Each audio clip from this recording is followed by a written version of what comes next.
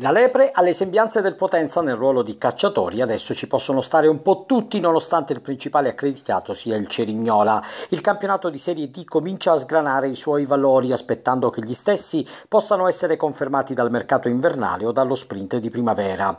Tre momenti cruciali di una stagione che però qualche indicazione l'ha già offerta dopo sette giornate.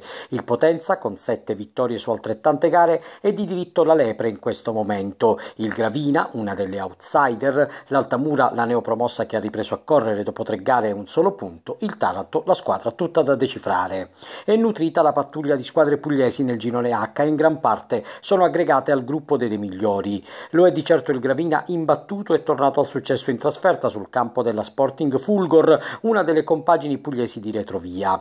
Il 2-1 di domenica scorsa ha regalato ai Murgiani il terzo posto in classifica, proprio alle spalle del Cerignola e messo la squadra di De Leonardis nelle migliori condizioni per il Tour de Force Force che comincerà nel prossimo turno in casa contro il Nardò, passerà per la sfida di Gragnano e l'infrasettimanale del primo novembre contro il Taranto per concludersi domenica 5 novembre sul campo del Manfredonia. Ciclo di media difficoltà a leggere i numeri della classifica che potrebbe chiarire le reali ambizioni della società giallo-blu. Il poker di impegni che attende la Serie D sarà chiarificatore anche per il Taranto, sempre alle prese con il tira e molla sugli assetti societari. La trasferta a Francavilla Insigni è una prova di maturità per la squadra di Cazzarò, anche perché in trasferta il Taranto non ha mai fatto punti in questa stagione e se svolta deve esserci, allora diventa fondamentale proprio la tappa lucana. Una verifica sulla avvenuta guarigione, anche dopo il cambio di guida tecnica, Ginestra al posto di Panarelli dovrà superarla all'Altamura sul campo della Frattese. Il 4-0 di domenica sulla Versa ha permesso di ritrovare il feeling con la vittoria smarrita nell'ultimo mese.